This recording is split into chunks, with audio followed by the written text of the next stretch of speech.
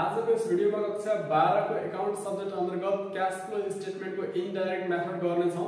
जुन चाहिँ एनएबीले भर्खर पब्लिस गरेको प्रश्न पत्र छ त्यसमा चाहिँ इनडाइरेक्ट मेथड पनि सोधेको छ राखेको छ जसले गर्दा स्टुडेन्ट्सहरू यसलाई कसरी गर्ने के गर्ने भन्ने कुराहरूमा चिन्तित हुनुहुन्छ। त्यसलाई आज हामी फर्मेट र सल्युसन पनि दिनेछौँ होइन? जुन चाहिँ इन्डाइरेक्ट म्याथड छ हिस्ट्रीमै फर्स्टचोटि के गरेको छ एनएबीले राखिदिएको छ जसले गर्दा स्टुडेन्टहरू कसरी गर्ने भन्ने कुरामा अलमल्ल हुनुहुन्छ। पहिलो सुरु हामी यसको फर्मेटको बारेमा डिस्कस गरौँ। फर्मेटको कुरा गर्दा हामीले नेट प्रफिट दिएको हुन्छ। नेट प्रफिटलाई के गरिन्छ त? यसरी राइट साइडमा राखिन्छ। त्यसपछि आउँछ एड गरिन्छ। एडमा non operating and non cash expenses खर्चलाई हामीले यसमा एड गर्नुपर्ने हुन्छ। खर्चमा अरू बेला लेस गरिन्छ गरिन्थ्यो भने यसमा हामी एड गर्छौँ। र नन अपरेटिङ एक्सपेन्सेस भनेको कस्तो खालको खर्च हो भन्दाखेरि कम्पनी चल्दा पनि कम्पनी नचल्दा पनि अपरेसनमा रहँदा पनि नरहँदा पनि खर्च हुन्छ भने त्यसलाई के भन्छ त? नन अपरेटिङ एक्सपेन्सेस त्यसै गरी अर्को छ non cash expenses non cash expenses भनेको खर्च भइरहेको हुन्छ तर त्यस त्यो डाइरेक्टली देखिँदैन जस्तै कि डेप्रिसिएसन डेप्रिसिएसन के हुन्छ भन्दाखेरि मेसिनको मूल्यमा हरास आइरहेको हुन्छ घटिरहेको हुन्छ। तर त्यो चाहिँ के हुँदैन त? डाइरेक्टली देखिँदैन। त्यस्तो खर्चलाई हामीले नन क्यास एक्सपेन्सेस भनिन्छ र डेप्रिसिएसन छ भने यसमा हामीले चढाउँछौँ। डाइरेक्ट मेथडमा चढाउँदैनौँ भने इन्डाइरेक्ट मेथडमा हामी डेप्रिसिएसन भनेर यहाँनिर चढाउनु पर्छ त्यसै गरी इन्टेन्जिबल एसेट्स अथवा फिक्टिसियस एसेट रिटर्न अफ छ अथवा एमोर्टाइजेसन छ भने रिटर्न अफ एमोर्टाइजेसन भनेको के हो भन्दाखेरि फिक्टिसियस एसेट्स र इन्टेन्जिबल एसेट्सको भ्यालुमा घट्नु हो। घट्नुलाई के भन्छ त? रिटर्न अफ भन्छ होइन? अब इन्टेन्जिबल एसेट्समा गुडविल पर्छ patent trademark copyright french franchisee right जस्तो कुराहरू पर्छ भने फिक्टिसियस एसेट्समा प्रिलिमिनरी एसेट्सहरू अन्डर राइटिङ कमिसन ब्रोकरेज चार्जहरू पर्ने गर्छ। यी कुराहरू छ भने यसको मूल्य घटेको छ भने हामी राखिन्छ। त्यसै गरी provision for tax provision for dividend छ भने त्यसलाई पनि के गरिन्छ त हामीले यहाँनिर राखिन्छ। त्यसै गरी loss on sale of fixed assets fixed assets sale गर्दा लस भएको छ भने यहाँनिर राखिन्छ भने प्रफिट तल आउँछ। त्यसै गरी premium on redemption of debenture debenture प्रिमियममा फिर्ता गरेको छ भन्ने कम्पनीलाई घाटा लाग्छ लस हुन्छ जसले गर्दा त्यसलाई पनि के गरिन्छ त चढाइन्छ। Discount on issue of share or debenture डिस्काउन्टमा issue गरेको छ सेयर अथवा डिभेन्चर भने के हुन्छ त कम्पनीले कम मूल्य प्राप्त गर्छ अथवा घाटा सरह हुन्छ। जसले गर्दा हामीले के गर्छौँ त यसमा राख्छौँ यी खर्चहरूलाई जोडेर हामीले बाहिर निकालेर राखिन्छ। त्यसै गरी अर्को छ लेसमा जाने कुराहरूमा non operating and non cash इन्कमको कुराहरू non operating non cash income भनेको कस्तो खालको इन्कम हो भन्दाखेरि कम्पनी सञ्चालनमा नरहँदा पनि इन्कम आउँछ भने त्यसलाई के भनिन्छ त नन अपरेटिङ इन्कम अथवा नन क्यास इन्कम भनेको कस्तो हो भन्दाखेरि कम्पनी सञ्चालनमा नरहँदा पनि यसमा चाहिँ इन्कम आउँछ भने क्यासको रूपमा आउँछ भने नन क्यास इन्कम भनेर भन्छौँ। जस्तो कि डिभिडेन्ड इन्ट्रेस्ट रिसिभ छ होइन? कहीँ अन्त लगानी गरेको छ भने कम्पनीले के गर्छ त? डिभिडेन्ड प्राप्त गर्छ। अथवा लगानी गरेर ब्याज प्राप्त गर्छ भने त्यो इन्कमको रूपमा मानिन्छ। रिसिभको कुराहरू भने राखिन्छ। Gain on sale of fixed assets यदि फिक्स एसेट्स सेल गर्दा प्रफिटमा सेल गरेको छ भने हामी त्यसलाई के गरिन्छ त? राखिन्छ। Appreciation of fixed assets appreciation मूल्य बढ्छ भने जस्तै कि ल्यान्ड एन्ड बिल्डिङको फिक्स एसेट्समा ल्यान्ड एन्ड बिल्डिङको मूल्य बढिरहेको हुन्छ। त्यसलाई के गरिन्छ त? यहाँनिर हामीले राखिन्छ। यी कुराहरूलाई जोडेर बाहिर राखिन्छ। लेसमा किनभने लेस छ माथिको एड छ। यसलाई प्लसमा यसलाई माइनसमा र माथिकोबाट नेट प्रफिटबाट हामीले यसलाई प्लस गर्ने यसलाई माइनस गरेर आएको भ्यालुलाई के भन्छ त? फन्ड्स फ्रम अपरेसन भन्छ। त्यसै गरी फन्ड्स फ्रम अपरेसनमा हामी एड गरिन्छ decrease in current assets current एसेट्सको value घटेको छ भने करेन्ट एसेट्समा जस्तो कि डेप्टर्स भयो एकाउन्ट रिसिभल डेप्टर्सलाई नै भन्छ भने स्टक भयो होइन? ती कुराहरूको भ्यालु घटेको छ भने हामीले के गरिन्छ त? यहाँनिर राखिन्छ प्लसमा किनभने एड छ increase in current liabilities current liabilities जस्तो कि क्रेडिटर्स ब्याङ्क ओभरड्राफ्टको कुराहरू होइन? ती कुराहरूको भ्यालु इन्क्रिज भएको छ भने त्यसलाई पनि यहाँनिर राखिन्छ।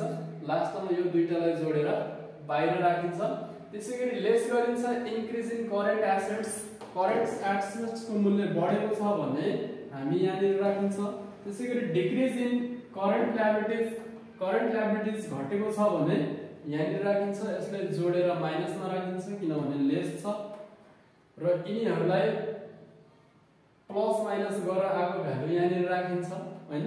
त्यसमा चाहिँ ट्याक्स पेड घटाइसकेपछि हाम्रो आउँछ net cash flow from operating activities जसलाई मैले ए नाम दिएको छु। यो प्लसमा पनि आउन सक्छ माइनसमा पनि आउन सक्छ होइन? यसरी हामीले के गर्न सकिन्छ त? क्यास फ्लो स्टेटमेन्ट इनडाइरेक्ट मेथडबाट क्या net cash flow from operates operating activities निकाल्न सकिन्छ भने जुन चाहिँ हाम्रो दुईटा एक्टिभिटिज छ इन्भेस्टिङ र अर्को फाइनेन्सिङ यी दुईटा एक्टिभिटिजहरू सेम टु सेम छ डाइरेक्ट मेथड भने पनि इनडाइरेक्ट मेथड भने पनि इक्वल छ होइन एउटै छ। इन्भेस्टिङमा हामीले के राख्छौँ त? फिक्स एसेट रिलेटेड कुराहरू। होइन जस्तो कि sale of fixed assets purchase of fixed assets sale of machinery purchase of machinery sale of furniture purchase of furniture त्यो कुराहरू हामी के गर्छौँ त? इन्भेस्टिङ एक्टिभिटिजमा राख्छौँ जुन चाहिँ फिक्स एसेटसँग सम्बन्धित कुराहरू हुन्छ। त्यसै गरी इन्भेस्टिङ नामै छ इन्भेस्टमेन्ट त जान्छ। यी तिनवटा कुराहरू के हुन्छ त हाम्रो? इन्भेस्टिङ एक्टिभिटिजमा जान्छ फिक्स एसेट रिलेटेड कुराहरू। भने फाइनेन्सिङ एक्टिभिटिजमा के जान्छ त? एउटा सेयर अर्को डिभेन्चर लोन अनि डिभिडेन्ड पेड यी चारवटा कुराहरू म्याक्सिमम आउँछ प्लस टूमा बाह्र कक्षामा म्याक्सिमम आउँछ यसरी हामीले के गर्न सकिन्छ त इन्डाइरेक्ट मेथडबाट क्यास फ्लोलाई सल्युसन गर्न सकिन्छ एक म्याथको सल्युसनतिर जाउँ होइन जुन चाहिँ हामीले एनएबीले भर्खरै निकालेको प्रश्न पत्र छ त्यसको क्वेसनमा राख्छौँ हामीले नेट प्रफिट दिएको छ त्यसमा थर्टी फोर थाउजन्ड क्वेसन पनि हेर्नु होला प्रश्न पत्र पनि हेर्नु होला र सल्युसन पनि हेर्नु होला र हामीले एड गरेको छ non operating non cash expenses जसमा डिप्रिसिएसन दिएको छ डिप्रिसिएसन ट्वेन्टी थाउजन्ड दिएको छ एड गर्नुपर्ने कुराहरूमा त्यसै गरी हामीले premium on redemption of debenture दिएको छ वान थाउजन्ड त्यसै गरी loss on sale of furniture दिएको छ फाइभ थाउजन्ड यिनीहरूलाई हामीले जोडेर बाहिर लेखिन्छ ट्वेन्टी सिक्स थाउजन्ड त्यसै गरी अब लेस गर्ने कुराहरूमा छैन जसले गर्दा हामी केही पनि लेख्दैनौँ निल लेख्छौँ होइन? Gain on sale of fixed assets पनि छैन यसमा एप्रिसिएसनको कुराहरू पनि छैन होइन? जसले गर्दा हामीले यसमा डिभिडेन्ड रिसिप्टको कुराहरू इन्ट्रेस्ट रिसिप्टको कुराहरू पनि छैन जसले गर्दा निल लेख्यौँ। त्यसै गरी यसलाई माथि नेट प्रफिटमा जोडेर यहाँ नभएको छैन त्यसले गर्दा जोड्यौँ भने सिक्सटी थाउजन्ड आउँछ। सिक्सटी थाउजन्ड के भयो त? फन्ड्स फ्रम अपरेसन भयो। त्यसै गरी हामीले एड गरिन्छ यहाँनिर increase in current assets current एसेट्समा debtors decrease in current assets के गरिन्छ त? एड गरिन्छ। यहाँनिर डेप्टर्स छ डेप्टर्स टेन थाउजन्ड त्यसै गरी increase in current liabilities current ल्याबिलिटिजमा creditors छ टेन थाउजन्ड के गरियो? राखियो। यी दुइटालाई जोडेर बाहिर राख्यौँ।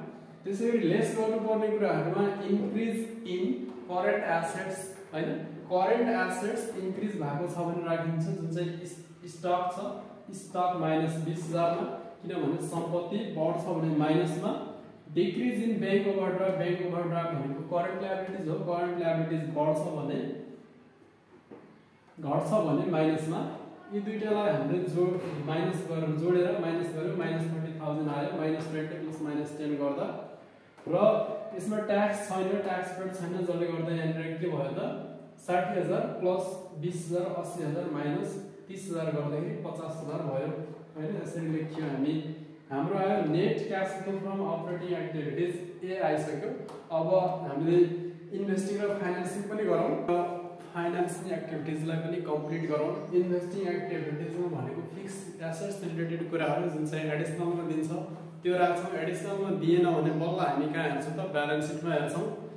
एडिसनलमा दिएको छ sale of furniture fifteen thousand sale गरेर पैसा आउँछ जसले गर्दा यसलाई हामीले प्लसमा राख्यौँ। पर्चेज अफ फर्निचर छ वान लाख यो चाहिँ पर्चेस गर्दाखेरि सामान आउँछ तर पैसा त जान्छ। जसले गर्दा हामी यसलाई माइनसमा राख्छौँ।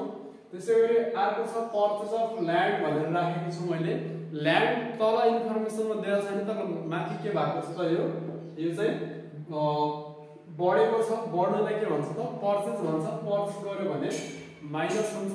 यसरी हामीले यसलाई हेऱ्यौँ भने माइनस एक लाख आउँछ। यसलाई के भन्छ त? Net net cash flow from investing activities त्यसै गरी अर्को एक्टिभिटी छ हामीसँग last financing activities फाइनेन्सिङमा issue of share one lakh होइन? किनभने हामी क्वेसनमा हेऱ्यौँ भने सेयरको मूल्य एक लाखले बढिरहेको छ। त्यही भएर हामीले के गर्यौँ त? इस्यु अफ सेयर भनेर लेख्यौँ। र डिभेन्चरलाई हेऱ्यौँ भने यसको भ्यालु घटेको छ प्लस माथि प्रिमियम पनि दिएको छ होइन? एकचोटि माथि गइसक्यो भने प्रिमियम पनि दिएको छ प्रिमियमलाई पनि जोड्छौँ हामीले एक हजार प्रिमियम जोड्छौँ र रिडेम्सन बिस हजारले घटेको छ प्लस एक हजार गर्दा एक्काइस हजार प्रिमियम राख्छौँ हामी। र एडिसनलको लास्ट छ डिभिडेन्ड पेड चौध हजार यसरी हामीले तिनटैलाई प्लस माइनस माइनस गरिसकेपछि सिक्सटी फाइभ थाउजन्ड आउँछ जसलाई के भन्छ त net cash flow from financial activities C नामले दिए ए जुन चाहिँ अपरेटिङ एक्टिभिटिज थियो त्यो पचास हजार आएको थियो भने यो चाहिँ एक लाख प्लस पैँसठी गर्दाखेरि के हुन्छ त हाम्रो पन्ध्र हजार प्लसमा आउँछ होइन? पन्ध्र हजार प्लसमा आउँछ किनभने अपरेटिङको पचास माइनस एक लाख गर्दाखेरि माइनस पचास हजार प्लस पैँसठी हजार गर्दाखेरि प्लस पन्ध्र हजार त्यसलाई के भन्छ त? नेट चेन्ज इन क्यास भन्छ। त्यसपछि ओपनिङ क्यास ब्यालेन्सलाई एड गरिन्छ हामीले। एक लाख दस हजार छ। एड गरिसकेपछि आउँछ जुन भ्यालु त्यसलाई के भन्छ? त क्लोजिङ क्यास ब्यालेन्स एक लाख पच्चिस हजार आउँछ। यही नै हामी निकालिरहेको थियौँ। यसरी हामीले यसलाई कम्प्लिट गर्न सकिन्छ। यो मेथड पनि सजिलो छ। जुन चाहिँ यी दुईवटा मेथडहरू छ त्यो चाहिँ डाइरेक्ट र इन्डाइरेक्ट दुइटैमा एउटै हो। यसरी हामीले यसलाई सल्युसन गर्न सकिन्छ। साथसाथै आगामी अपडेटहरूको लागि हाम्रो यस एजुकेयर युट्युब च्यानललाई सब्सक्राइब गर्नु होला लाइक सेयर कमेन्ट पनि दिनु होला साथसाथै अन्य सुझावहरू छ भने त्यो पनि राख्नु होला